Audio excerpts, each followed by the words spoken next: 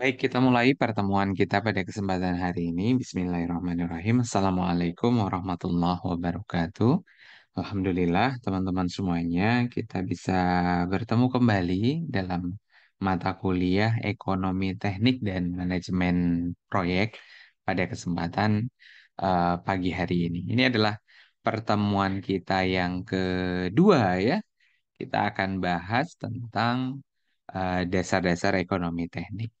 Jadi, karena ini menjadi mata kuliah baru, eh, kita agak pelan-pelan mungkin ya dalam eh, menikmati proses kuliah yang ada, gitu, ya, supaya teman-teman juga bisa memahaminya dengan baik. Eh, ada beberapa hal yang akan eh, kita sampaikan pada kesempatan hari ini, yaitu yang pertama adalah teman-teman nanti akan mendapatkan materi terkait dengan konsep nilai uang dan waktu sebenarnya ya. Jadi uh, tiga komponen ini menjadi hal yang utama yang akan dibahas dalam konsep ekonomi teknik dan manajemen proyek. Kemudian ada istilah dalam uh, kegiatan investasi, gitu ya. Jadi menempatkan uh, dalam tanda kutip materi atau uang, gitu ya, dalam suatu proyek tertentu. Kemudian nilai proyek tersebut ya kita sebut sebagai manfaat dari proyek tersebut yang biasa dikenal dalam teori ekonomi tersebut disebut sebagai bunga, gitu ya. Nah, bunga tersebut ada bunga sederhana dan ada bunga majemuk, gitu ya. Eh, kemudian yang ketiga adalah kita akan belajar tentang satu istilah yang disebut sebagai present value dan future value.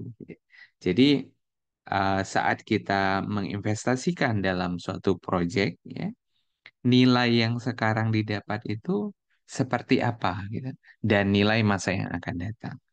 Ya, sebagian besar dari proyek-proyek yang berhubungan dengan uh, teknik lingkungan terutama, gitu, ya, proyek air bersih, air limbah, gitu. ya. Jadi kita bisa menentukan nilai uh, saat ini, ya, dan nilai yang akan didapatkan di masa depan nanti, gitu ya.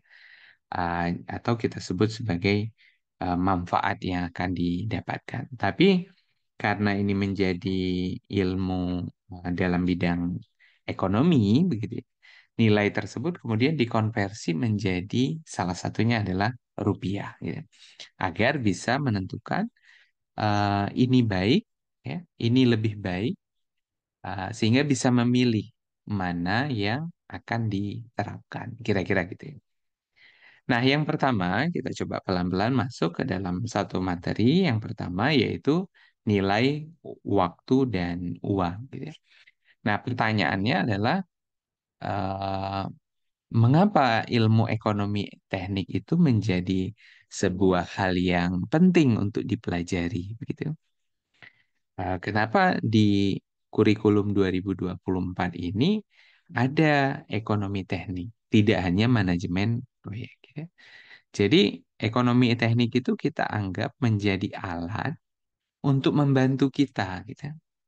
Sehingga kita bisa mengambil suatu keputusan yang mana yang akan dipilih. ya. Eh, saat berbicara eh, kegiatan, ya, akan banyak alternatif. Ya. Ya, minggu yang lalu kita sudah bahas. ya. Jadi dibangun saat ini atau besok atau tahun depan, ya, menggunakan alat ini atau menggunakan bahan ini atau bahan yang lain. Gitu. Jadi banyak alternatif yang perlu kita pertimbangkan. Nah, eh, hal tersebut, gitu ya, hal tersebut eh, menjadi pertimbangan. Apa yang perlu dipertimbangkan? Pertama, pasti yang perlu dipertimbangkan tersebut adalah biaya. Biaya tersebut menjadi hal yang utama yang akan dipertimbangkan. Gitu. Kenapa seperti itu? Karena ya tadi em, eh, suatu proyek tersebut kan membutuhkan biaya. Jadi biaya tersebut menjadi hal yang penting yang menjadi dasar untuk memilih pilihan-pilihan yang ada. Kemudian juga eh, manfaat gitu ya. Jadi eh, untuk menentukan manfaat yang lebih besar, gitu ya, nah, sehingga perlu memilih pilihan mana saja. Nah, begitu juga dengan waktu. gitu ya. Perlu diselesaikan dalam waktu satu bulan, berarti otomatis biayanya lebih banyak. ya. Eh, kenapa lebih banyak gitu? ya? Misalnya satu proyek diselesaikan dalam satu bulan, ya.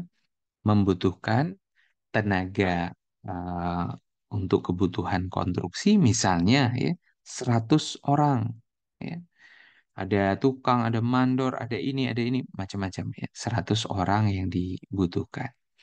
Tapi saat disampaikan bahwa oh jangan kita satu bulan, tapi satu tahun sajalah prosesnya. Berarti cukup misalnya menghadirkan 15 orang. Nah, 15 orang ini akan dipengaruhi oleh eh, biaya yang akan kita keluarkan. gitu ya. Jadi, tugasnya kita adalah bagaimana menyusun solusi tersebut menjadi hemat biaya, tapi juga efisien dalam penggunaan berbagai macam sumber daya. Karena kita hubungannya dengan lingkungan. Misal, jumlah limbah yang dikeluarkan lebih sedikit, jumlah air bersih yang digunakan lebih sedikit, gitu. Jumlah sampah, jumlah emisi uh, udara, dan seterusnya. Jadi ada tiga komponen saat kita bicara ekonomi teknik tadi kan. Uh, walaupun dalam materi ini kita kita akan sebut nilai uh, uang dan waktu tadi gitu ya. Tapi kita juga perlu mempertimbangkan ada faktor pembiayaan, ada faktor manfaat yang kita akan dapatkan, dan ada waktu yang perlu kita pertimbangkan. Kapan akan selesai dan seterusnya. Karena apa teman-teman semuanya? Ya, karena ada suatu proses ya, yang dilakukan dalam uh, pemilihan berbagai macam alternatif yang akan digunakan. Ya, mulai dari uh, ide ide uh, ide gitu ya, kemudian diwujudkan dalam sebuah proposal teknis, ya, kemudian dianalisis kelayakannya, apakah layak atau tidak. Berarti kalau ditemukan tidak layak, maka ide tadi perlu direvisi, gitu. Kemudian kalau ditemukan dia layak, berarti ada eh, RAB yang perlu disusun, gitu. Kemudian perlu dilihat kelayakan dari sisi ekonomi. Jadi pas layak atau tidak, gitu ya, visible atau tidak visible, maka kalau tidak perlu dilakukan revisi. Berarti perlu ada yang diganti begitu ya. Diganti metodenya, diganti waktunya, diganti bahannya dan seterusnya. Kalau juga tidak visible, berarti proyek tersebut akan di stop karena ada nilai tadi ya biaya, manfaat, dan waktu. ya. Jadi dalam analisis tidak ditemukan sebuah kelayakan dari proyek yang akan dilakukan. Maka tidak perlu diteruskan, gitu ya, kira-kira gitu. Namun kalau dianggap menjadi yes, oh iya bisa ya. Ya berarti diimplementasikan, tapi bukan berarti tidak dievaluasi, ya. Jadi seluruh perencanaan yang sudah diterapkan di atas, berbagai macam dokumen yang ada, itu per- bisa dievaluasi kembali saat diterapkan. Oh ternyata eh, pemilihan bahan ini ini nggak cocok dengan kondisi sangat spesifik di lokasi. Maka perlu dievaluasi dan bisa jadi hasil evaluasi tersebut me- me- apa, mengubah bahan yang akan digunakan. Itu bisa. Jadi menghasilkan satu rekomendasi revisi gitu ya. Jadi ya tadi ya eh, keputusan yang ada gitu ya harus bisa mengidentifikasi seluruh aspek yang ada. Jadi 10 poin ini ya yang di sebelah kanan ini adalah eh, sebuah langkah-langkah yang bisa diterapkan dalam suatu proses pembangunan infrastruktur. Jadi artinya adalah ekonomi teknik ini adalah sebagai decision making support gitu ya. Uh, jadi uh, kita tidak bisa memungkiri faktor leadership ya seorang pemimpin itu ada gitu. Dia sudah punya experience dari pekerjaan-pekerjaan sebelumnya gitu. Kemudian dia punya sebuah pandangan sehingga uh, ada keputusan yang akan diambil. Ya. Nah, keputusan yang akan diambil tersebut bisa disandingkan dengan uh, ekonomi teknik tadi, gitu. Jadi sebagai pendukung, memperkuat. Gitu. Saya kayaknya feeling saya ini deh, gitu. Nah, tim ekonomi teknik terus kemudian menyodorkan, Pak, kalau ini ya, secara uh, kelayakannya sangat rendah. Gitu. Terus gimana supaya uh, ide ini bisa kita praktekkan, gitu, kita implementasikan? Oh, berarti ada perubahan, Pak, yang perlu dilakukan. Manajemen yang perlu dilakukan ada sedikit perubahan sehingga uh, rencana atau ide tadi itu bisa diterapkan. Nah, itu menjadi hal yang penting. Ya. Nah, ini menjadi dasar kenapa ya, ekonomi teknik itu perlu kita uh, pelajari, kira-kira gitu ya. Nah, oke, okay, kita lanjut ya. Nah, kembali ke uh, subtopik kita, yaitu konsep nilai waktu dan uang. Jadi eh, pagi-pagi kalau ngomongin ini di mata kuliah ini dan kita anak teknik itu wah, ini susah gitu. Saya coba menganalogikannya dengan proyek-proyek yang kita bisa lakukan. Gitu ya. Jadi konsep nilai waktu dan uang itu time, time, value of money tadi. Gitu ya. Uang yang diterima sekarang ya, lebih berharga. Gitu.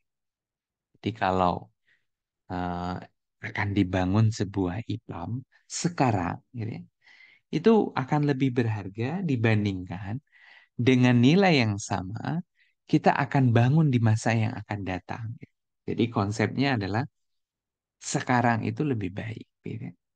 Karena apa? Salah satunya ya, uh, proyek-proyek besar itu membutuhkan keputusan investasi ya yang mempertimbangkan perubahan nilai uang. Nah, kalau teman-teman mengikuti nilai, ya, tapi nggak tahu juga mengikuti atau tidak, gitu. Ya, nilai emas, nah, harga emas saat ini gitu, ya, di tahun 2024 itu jauh sekali dibandingkan dengan harga 10 tahun yang lalu atau lima tahun yang lalu. Gitu.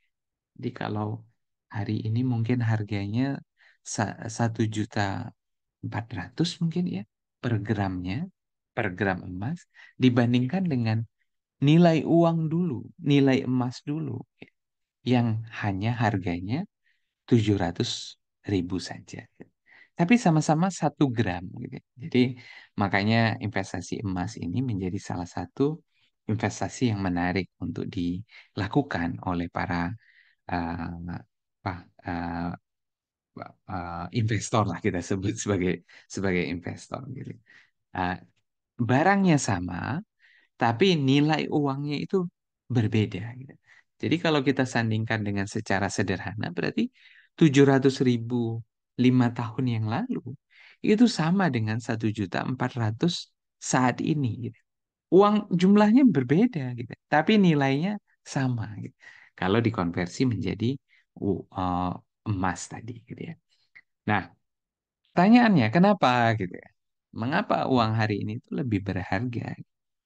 Jadi potensi penghasilan uang yang diterima saat ini itu bisa diinvestasikan dan menghasilkan nilai manfaat yang besar dan bisa kita rasakan sekarang, besok, setahun lagi, dua tahun lagi dan seterusnya. Jadi proyek IPAL yang dibangun lebih awal dapat menghasilkan penghematan biaya lebih cepat. Misalnya untuk kebutuhan biaya pemulihan lingkungan. Jadi konsep investasi itu makin cepat makin bagus. Jadi tidak heran saat orang misalnya ya beli tanah tidak didiamkan, langsung dibangun rumah, rumahnya jadi, rumahnya dijual, kemudian dia menginvestasikan dengan proyek yang lain. Karena kalau tanah didiamkan, memang naik harganya, tapi tidak signifikan dibandingkan dengan nilai manfaat dan proses investasi di aktivitas berikutnya. Ya, mudah-mudahan tidak bingung gitu ya. Jadi orang teknik ngomongin tentang uh, ekonomi gitu. Yang kedua, ya, risiko ketidakpastian tadi ya. Jadi karena ada perubahan di masa yang akan datang. Kita nggak tahu uh, terjadi perang antara Rusia dan Ukraina yang mempengaruhi harga-harga dunia. Gitu. Kita tidak tahu ada perang antara hari ini ada info Iran kemudian menyerang Israel, gitu. yang juga akan mempengaruhi harga dunia. Gitu. Uh, komoditas yang dikelola oleh dunia akan mempengaruhi karena ada pergerakan global tadi, ada aktivitas peristiwa-peristiwa global. Jadi penuh risiko dan uh, sesuatu hal yang tidak pasti. Kemudian ya tadi salah satu yang dijelaskan lewat emas tadi, gitu, terjadi inflasi. Gitu. Jadi saat ini kita membelanjakan satu juta, gitu, dengan nilai yang sama satu juta di masa yang akan datang, mungkin kita dapat barang yang berbeda. Gitu. Jadi kalau menyimpan dalam bentuk uang, ada kemungkinan terkena inflasi. Jadi uh, ini hal yang umum di dijelaskan dalam teori-teori ekonomi. Dengan contoh misalnya gini ya, saya contohkan sederhana. Jika kita punya 10 miliar sekarang, mana yang lebih baik kira-kira ya? Diinvestasikan dalam proyek pengolahan air limbah sekarang dengan manfaat 5% per tahun, ya kita sebut sebagai bunga lah, 5% per tahun, atau menunggu satu tahun untuk memulai proyek. Jadi pertanyaannya adalah now atau satu tahun lagi ya. Oh, one year later. Jadi kalau dihitung, gitu ya, kalau dihitung investasi saat ini ya, misalnya dengan nilai yang berbeda bukan 10 miliar, 10 juta ya saya rubah di sini ya. 10 juta saat ini kemudian ada uh, nilai manfaat yang akan diambil sebesar 5% atau 105% begitu kan. Uh, ini simpelnya saja dibuat 1,05 sehingga nilai tahun depan yang kita akan dapatkan adalah 10.500 atau tadi 10,5 miliar gitu ya. Tapi kalau ditunggu satu tahun itu akan tetap satu juta karena apa? Belum diinvestasikan.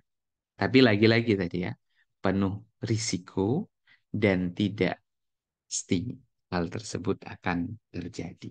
Jadi kalau dibuat grafik secara sederhana, ya, investasi duluan itu akan memiliki nilai yang lebih tinggi dibandingkan dengan investasi eh, nanti. Gitu. Jadi jangan tunda. Maka AAG benar sekali ya, dimulai dari 3M gitu ya. Mulai dari diri sendiri, mulai dari uh, saat ini, ya, jadi saat ini itu adalah menjadi hal yang sangat baik. Jadi jangan ditunda gitu. Mulai dari hal yang sederhana gitu. Jadi itu kata Hakim. Jadi konsep nilai waktu ruang dengan kesimpulan bahwa sekarang itu lebih baik dibandingkan dengan nanti. Oh nanti nanti. Ya dalam konsep pengerjaan tugas juga daripada di nanti-nanti kalau sekarang bisa dikerjakan kenapa harus nanti kira-kira gitu. Jadi ini menjadi bagian yang pertama konsep nilai waktu dan uang karena ada pertimbangan tadi apa? Ada biaya, ada manfaat dan ada yang terakhir waktu yang diperlukan untuk menjalankan sebuah proyek investasi gitu ya. Oke, Mudah-mudahan jelas ya. Nanti kalau ada pertanyaan silahkan disimpan. Disimpan dan nanti ada waktu. Tapi mudah-mudahan nggak tidur gitu ya. Oke.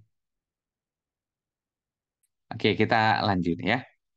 Yang berikutnya adalah apa yang menjadi materi yaitu bunga sederhana dan bunga majemuk. Wah, ini apa lagi? Hitungan-hitungan lagi nih. Jadi kira-kira gini ya.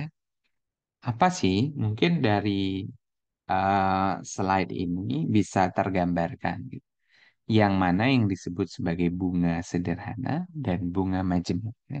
Oh, ternyata ada perbedaan walaupun sama-sama bunga. gitu ada nilai yang berbeda yang kita akan dapatkan ya atau kita sebagai eh, peminjam ya kalau minggu yang lalu kan kita sudah bahas ada eh, nilai investasi ada ROI ada ROC gitu ya return of eh, capital return of investment gitu ya. Jadi ada pihak lain yang sebagai investor ada pihak lain yang sebagai pemodal tadi gitu ya.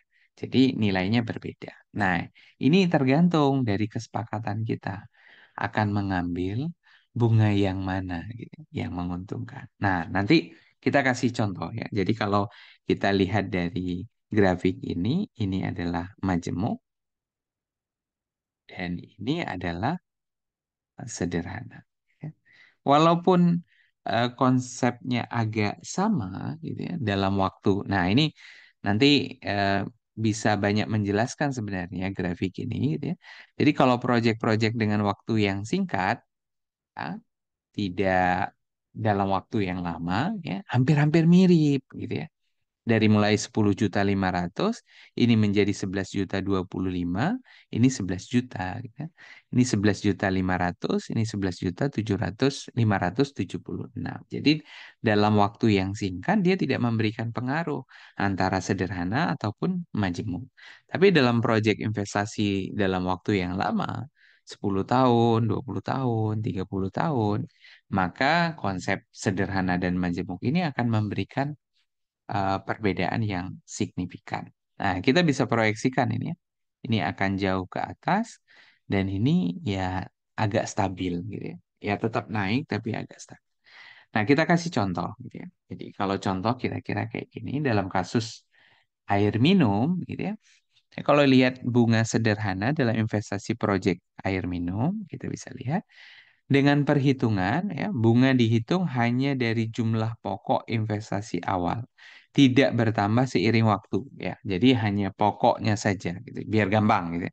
Jadi kalau kita berinvestasi satu miliar untuk proyek air minum dengan bunga sederhana, 5% per tahun, selama lima tahun, maka bisa dihitung, gitu ya, berapa sih yang harus uh, dibayarkan atau berapa sih nilai investasi setelah lima tahun kemudian gitu ya. Uh, Karena modal awalnya uh, satu miliar, lima tahun ke depan kita bisa menghitung aset kita itu berapa. gitu. Jadi dengan konsep P itu adalah investasinya atau modalnya, R itu adalah persentase bunganya, T itu adalah waktu. gitu. Jadi sangat sederhana perhitungan. Satu miliar dikali 5% dikali 5 tahun. Gitu ya. Karena 5% per tahun kali 5. Gitu. Ketemulah 250 juta. Jadi total investasi pokok dan bunga untuk 5 tahun kemudian gitu ya, itu sebesar 1,250 miliar. Gitu ya. Jadi dari satu miliar menjadi 1,25 gitu ya. Nah, ini menjadi hal yang penting uh, untuk mengetahui ya. Nah, ini ada catatan untuk bunga sederhana. Tadi saya sudah uh, coba jelaskan juga. Kapan tepat digunakan bunga sederhana ini ya? Proyek-proyek jangka pendek gitu ya. Proyek yang memerlukan pengembalian modal tanpa reinvestasi gitu ya. Reinvestasi. Jadi proyek air minumnya hanya di lokasi itu saja, tidak dikembangkan di lokasi yang lain, tidak dikembangkan untuk membeli teknologi yang lain. ya. Jadi cukup sekali jalan. Nah, pembiayaan peralatan baru untuk instalasi air minum atau penambahan jaringan distribusi kecil setelah peralatan dibeli tidak ada akumulasi tambahan yang terjadi. Ya, Jadi dianggap hanya bu eh, apa investasinya adalah investasi awal satu miliar. Beli lagi nanti, lagi, lagi, lagi, lagi itu tidak menjadi pertimbangan. Nah, ini yang sederhana. Yang kedua, kita coba ya, yang majemuk. Ya. Proyeknya sama, gitu. Uh, juga caranya sama, tetap dihitung dari biaya pokok di awal, ya. Uh, tidak hanya, oh ya, ma maaf ya, dalam bunga majemuk, bunga itu tidak hanya dihitung dari pokok awal, tetapi juga dari bunga yang sudah dihasilkan dari periode sebelumnya. Ini membuat nilai investasi bertambah lebih cepat karena bunga diakumulasikan dan diinvestasikan kembali. Contoh ya, jika kita menginvestasikan satu miliar dalam proyek air minum dengan bunga banjemuk sebesar 5% per tahun selama lima tahun, maka bunga diakumulasikan setiap tahun dan menghasilkan bunga tambahan. Jadi agak berlipat gitu ya. P ya atau uh, tadi investasinya 1 tambah 0,05 gitu ya. Ini rumus ya. Jadi nggak perlu dihafal, tinggal dicatat bunga majemuk itu rumusnya seperti apa. Jadi ketemulah dengan pangkat 5 tahun, ketemulah 1,276 gitu. Kalau tadi di depan 1,250, maka ini ada kelebihan 26 juta gitu. eh, dalam waktu 5 tahun. Jadi teman-teman bisa membayangkan kalau lebih dari kalau lebih dari lima tahun maka nilainya menjadi lebih besar. Nah, kapan untuk digunakan? Gitu ya? Proyek-proyek jangka panjang yang terus beroperasi dan menghasilkan keuntungan dari investasi awal. Misalnya ya, proyek pembangunan sistem pengolahan air minum skalanya skala besar. Di mana keuntungan dari penghematan atau pemasukan bisa diinvestasikan kembali untuk memperluas kapasitas pengolahan meningkatkan efisiensi dan memperluas jaringan distribusi. Ini sangat cocok kalau dikelola oleh perusahaan. Bukan dikelola dalam konteks uh, penggunaan APBN ya, PBD, tapi perusahaan. Maka tidak heran saat kita kelola air minum ada yang namanya PDAM atau saat ini disebut sebagai perumda perusahaan umum daerah. Jadi dia akan berbicara kapan menginvestasikan, kapan akan menggunakan, dan seterusnya. Nah, jadi kalau kita lihat nih ya, nah, saya coba rangkum nih. Ya. Saya uh, rangkum bunga sederhana itu bagaimana, bunga majemu itu bagaimana. Tadi kita sudah lewat, lewat lihat ya, jangka pendek, jangka panjang. Bunga lebih kecil karena tidak ada akumulasi, bunga lebih besar karena ada akumulasi gitu ya. Jadi kalau tadi ini proyek-proyek kecil yang waktunya tidak lama, tapi ini bisa jadi untuk proyek besar dengan waktu yang lebih lama.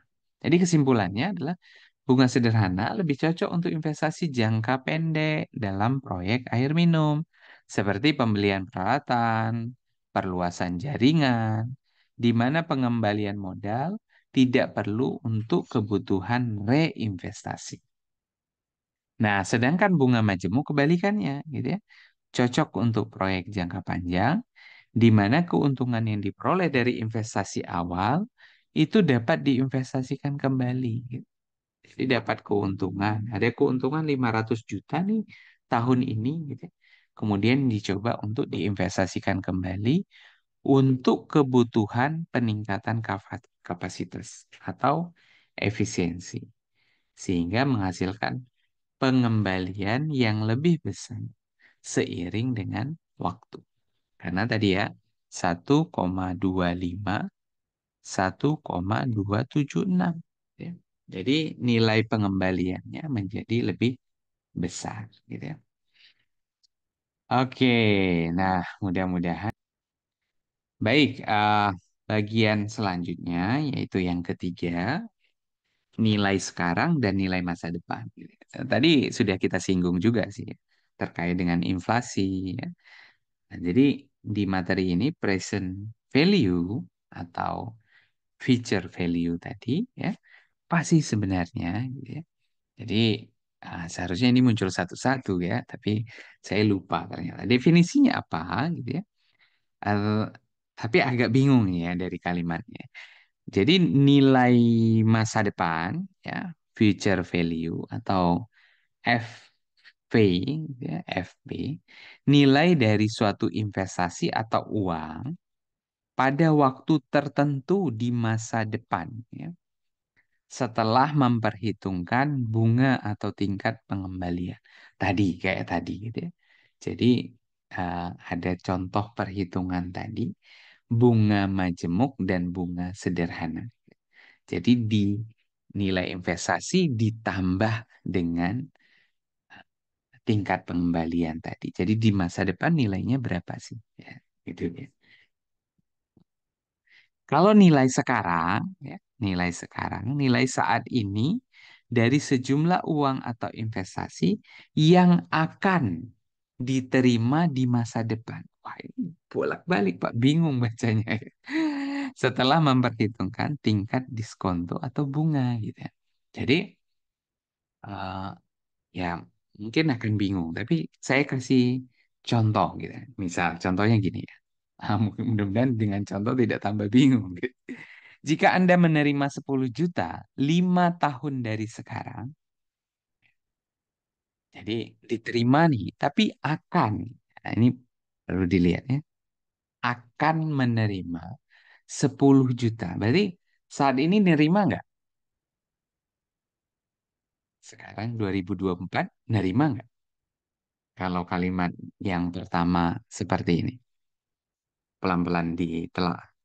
Jika Anda akan menerima 10 juta 5 tahun dari sekarang.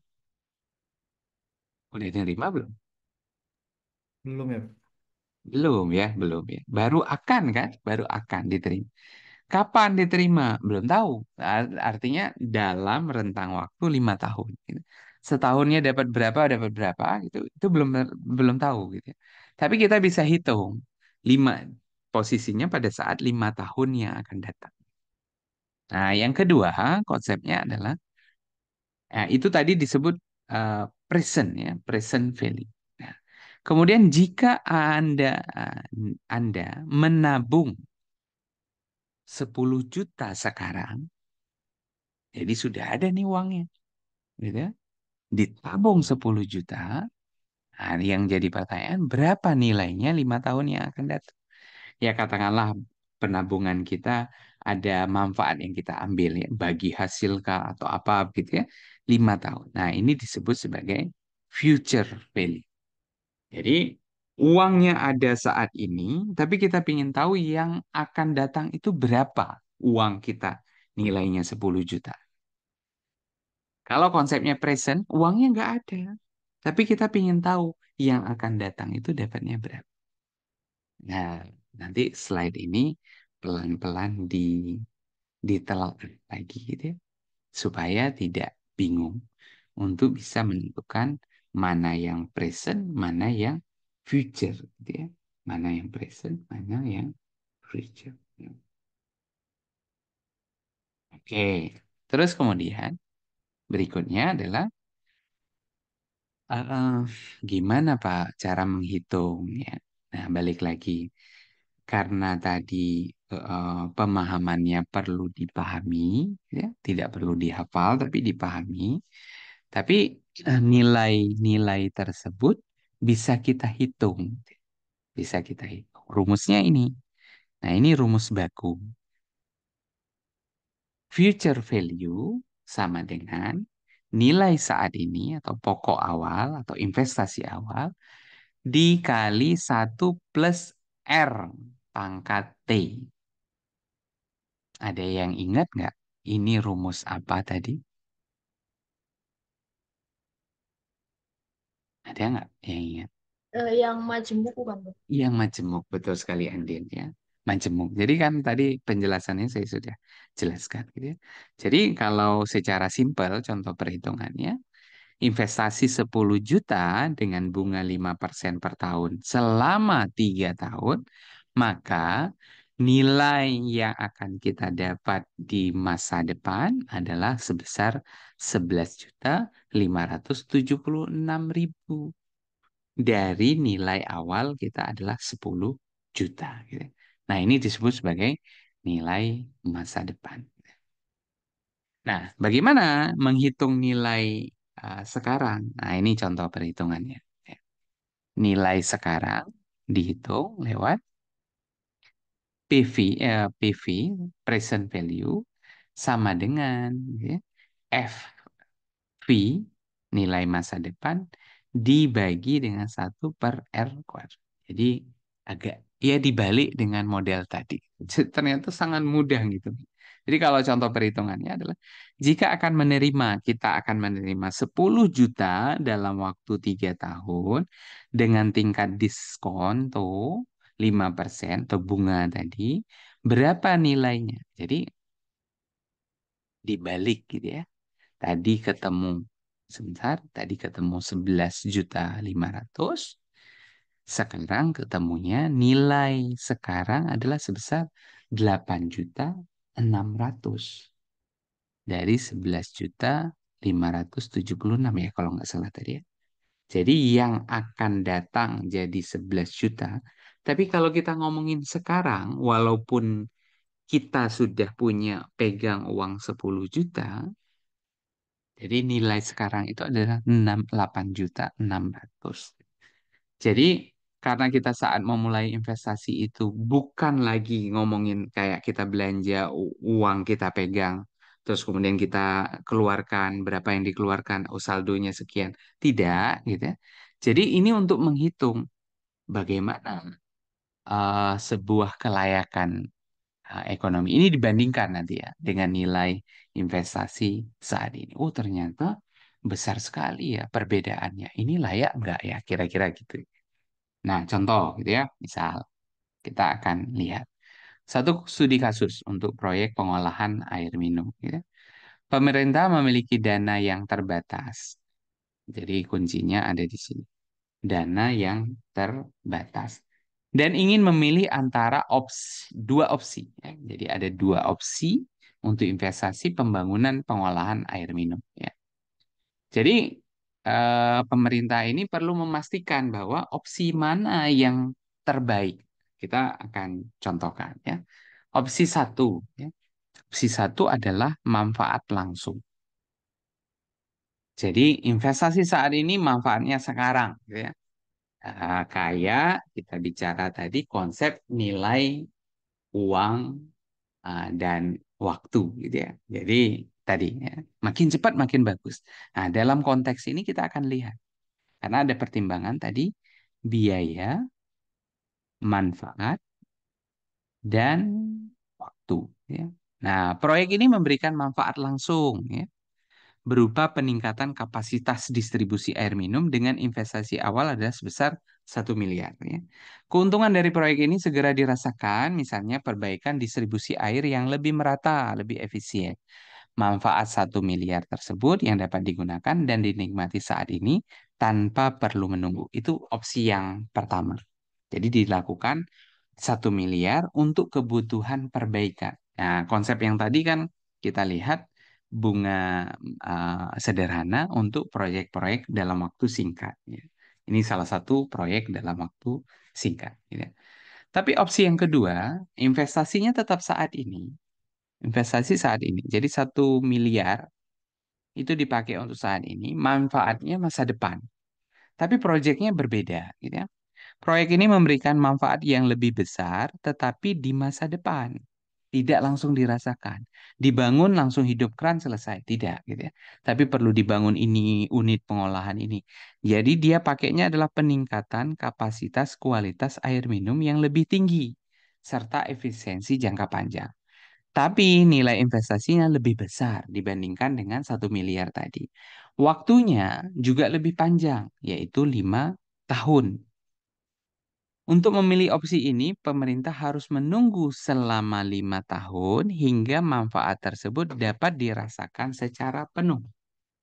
Karena manfaat diperoleh di masa depan, diperlukan eh, perhitungan nilai sekarang untuk mengetahui berapa besar nilai manfaat tersebut jika diperhitungkan nilai uang saat ini. Jadi, kedua opsi ini dibandingkan dengan PV. ya. Mana yang lebih bagus untuk dilakukan? Karena tadi pemerintahnya ingin mendapatkan manfaat, ya, pilihannya manfaat sekarang atau manfaat masa depan dengan nilai investasi yang terbatas, gitu kira-kira. Ya, oke, cara hitungnya bagaimana, gitu ya? Perhitungan eh, PV untuk kedua opsi ya. Opsi satu ya, nilai manfaat langsung. Nilai sekarang dari manfaat ini adalah satu miliar. Karena manfaat langsung diterima tanpa ada penundaan. Tidak perlu perhitungan diskonto. ya. Bunganya nggak ada. Karena dibongkar jalan tambah pipa, pipanya selesai, nggak lama waktu, satu bulan mungkin, manfaatnya sudah langsung diterima. Jadi nilainya adalah satu miliar. Tapi opsi yang kedua, karena ada diskon tadi, ada nilai yang akan diterima lima tahun yang akan datang, maka perlu dihitung. ya. Nilai manfaat saat ini sebesar 1,5 miliar akan diterima lima tahun yang akan datang dengan tingkat diskonto atau bunga sebesar 6% per tahun. Nah, nilai PV-nya kita bisa hitung 1,5 miliar dibagi dengan 1 tambah R, R adalah bunga, didapatlah sebesar 1,122. Jadi nilai sekarang dari manfaat sebesar 1,5 miliar yang akan diterima dalam lima tahun sebesar 1,1. Walaupun ini nggak imbang ya, satu pakai modalnya 1 miliar, satu pakai modalnya 1,5 miliar. Pastilah proyek yang lebih besar itu pakainya kebutuhannya lebih besar. Jadi keputusannya adalah opsi 1 1 miliar, opsi 2 akan mendapatkan manfaat lebih besar yaitu eh, 1,5 miliar. Namun ya eh, manfaat yang didapat untuk present value sebesar 1,12 miliar. Nah, keputusannya apa? Nah, kita bisa buatnya. Jika tujuan utama adalah untuk mendapatkan manfaat secepat mungkin dengan nilai yang pasti, maka opsi satu itu lebih menarik. Karena manfaatnya diterima untuk saat ini. Namun, jika proyek air minum lebih mengutamakan manfaat lebih besar dalam jangka waktu lebih lama dan bisa menunggu, nah, poinnya ada di sini ya. Masih oke nih, masyarakatnya sudah teraliri, sudah ada. Nah, maka opsi yang kedua menjadi hal yang uh, lebih baik. Karena dia memberikan nilai yang lebih tinggi meskipun ya meskipun kita paham bahwa ya kita paham bahwa ada risiko dan faktor waktu ya yang akan uh, didapatkan. Jadi keputusannya juga akan kembali kepada apa uh, faktor leadership. Jadi tidak diputuskan. Opsi satu, opsi satu masih karena ada pertimbangan ini, opsi dua karena pertimbangan ini. Nah, kira-kira begitu materi yang kita bisa sampaikan dalam pertemuan ini ya. Tapi eh, sangat boleh jika kita akan melakukan eh, diskusi